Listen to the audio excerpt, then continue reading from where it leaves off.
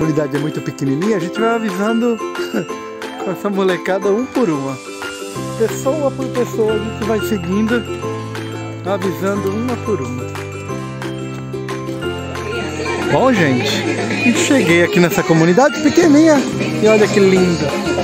Tá ficando. Chegando meu público.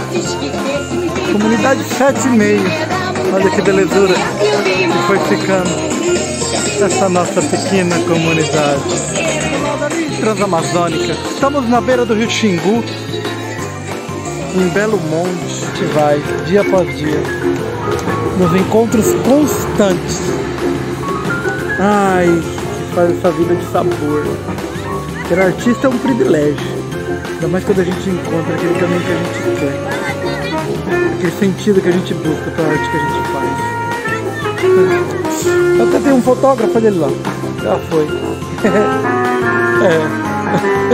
Eu dou minha câmera na mão dessa molecada e eles vão aprendendo a fotografar.